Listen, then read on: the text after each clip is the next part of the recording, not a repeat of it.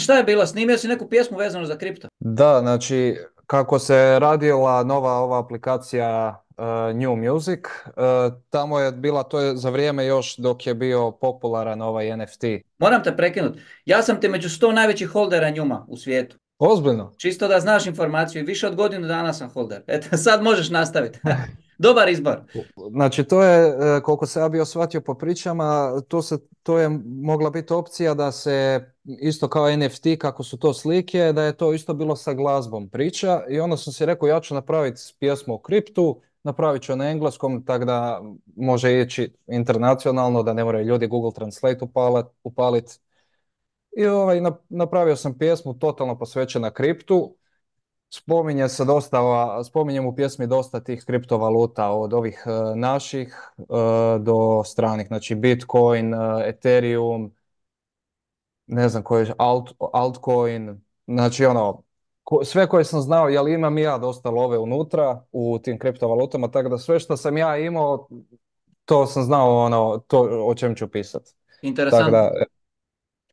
I čekaj sad, u kojoj sad fazi pjesma, šta si napravio, koliko to već je proces, ja se u to ne razumijem, od, od, te tvoje ideje da, da napišeš glazbu i, i tekst i sve, pa da li je to sad realizirano ili sad planiraš tek to izbacivati?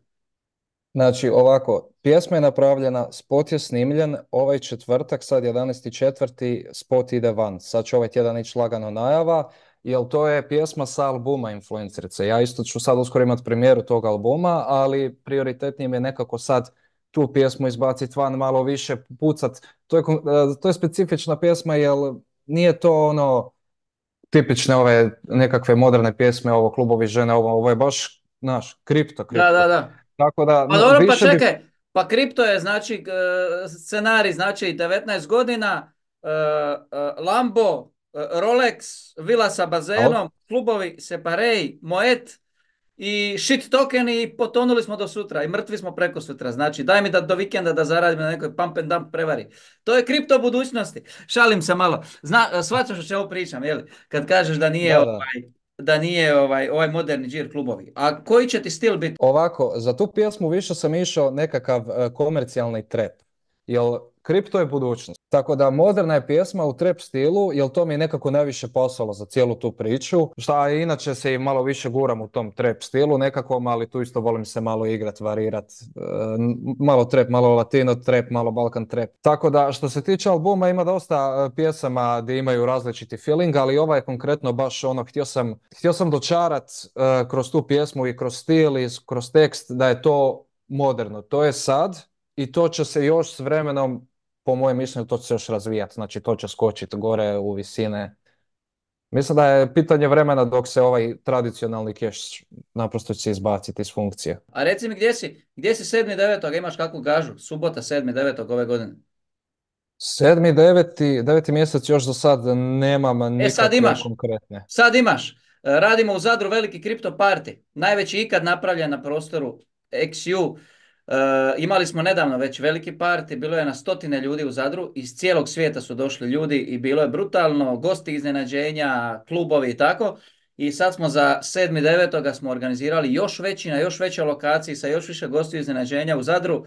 Tako da ovaj, čisto da znaš, to, tu pjesmu ima da otpjevaš uživo ovaj, u, u Zadru, ima da se pojaviš, a o tome ćemo pričati ovo ljeto, sad ne možeš odbiti nikako, sad sam te pred gotov čin doveo. Može, ja sam uvijek za akciju, to nema Eto ga, to smo dogovorili. Reci mi što se tiče same pjesme, postoji li kakva šansa da, da pustimo unutar, uh, unutar ovoga uh, intervjua barem jedan isječak, jedan dio spota ili moramo svi čekati četvrtak i da pjesma krene i kako to ide? Sad trenutno ako odeš na YouTube, jel meni je izašao album, samo nema spota. Na YouTubeu imaš uh, kako ti rade teme, imaš moj kanal Fran FM tema, tamo imaš cijeli album. Znači u principu ti sad možeš poslušati cijelu pjesmu, ali samo pjesma audio. Se, pjesma se može već sad poslušati, jel tako? Da. Odlično. Onda ćemo znači... je staviti na kraju na end screen. Stavit ćemo je na end screen u zadnjih 20 sekundi ovog našeg razgovora. Ljudi će moći ovaj, direktno kliknut i otići poslušati pjesmu, a onda se veselimo spotu da vidimo kako je ispalo. Reci mi kako si radio spot, e, neka produkcija e, sa stvarnim glumcima ili si, ili si radio nešto da ti je neki animirani studio radio, kako ste radili spot? Znači što se tiče glumaca u spotu smo ja i pošto imam sestru koja se bavi glumom i to studira i to je zanima, onda je ona meni za besplatno, jel sam je brati zato što sam je simpatičan, uletio. Uletjela mi je i ona je glumila, sad spot je sniman u studiju i dosta toga je green screen, ali dosta ono igrali smo se da se vi, točno vidiš dijelove, dio studio gdje smo doslovno se našli, posložili sve, snimali, a dio smo sa green screenom malo bacili te kriptovalute, njihove logotipe nekakve. Dakle, da, kombinacija, kombinacija, da nije monotono. To je bilo samo da nije monotono, to je meni bilo u planu. Dobro, a reci mi svoje iskustvo sa ekipom iz Njuma, e, do kuda je došla ta priča? Da li si uspio doći do njih kontaktirati, da li si nešto pokretao već u tu ili, ili je Njum bio samo motivator koji te motivirao da napraviš tu pjesmu i sad si došao do toga da zaista imaš pjesmu. Međutim, da li je, da li je sa Njumom zapelo, da li si stao na tome ili zaista još imaš i, i, tu, i tu viziju i u, u glavi ideju da realiziraš i taj dio? Ovako, ja sam za taj Njum čuo prvi put sad ćete slagat, mislim da je to bila 2021. kad se krenulo pričati o tome. I onda sam ja tu išao malo kopkat da vidim šta je to i koja je točno funkcija. I onda to je bila ta jesen. Onda sam, znači kad sam malo istraživao, dobio sam ideju za pjesmu, napisao sam pjesmu, napravio sam bio akaunt na njumu, ali onda je onda rekao sad ću pričekat da napravim pjesmu i zapravo sad kad izađe spot ću, e, će pjesma biti lancirana na njom. Jel hoću da imam cijeli, da imam cijeli proizvod, znaš, da nije samo ni, da nije samo zvuk, da tu ima ipak i neka slika, pa ću to onda probati da, da. Jesi, jesi spominjao Cardano u, u pjesmi? Da. O, čekaj, uh, znači spominjao si Cardano, njumija u igri, pa, pa tebe će Lapeti tada šerat, to ti je jedan kroz jedan. Čim pjesma izađe, ona će te pogurat.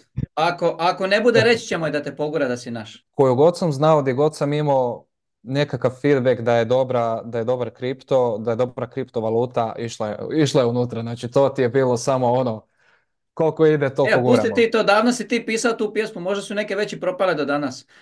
Šalim se, kripto ti je od danas do sutra. Drago mi da si mi bio gost. Prije što se pozdravimo, svakako ću u zadnjih 20 sekundi ćemo mi staviti na end screenu da ljudi mogu ovaj, poslušati za početak. Još ćemo mi malo posjetiti ljude i na našem Twitteru da ljudi odu, da bace oko, da vide šta, šta je to došlo iz naše domaće kuhinje.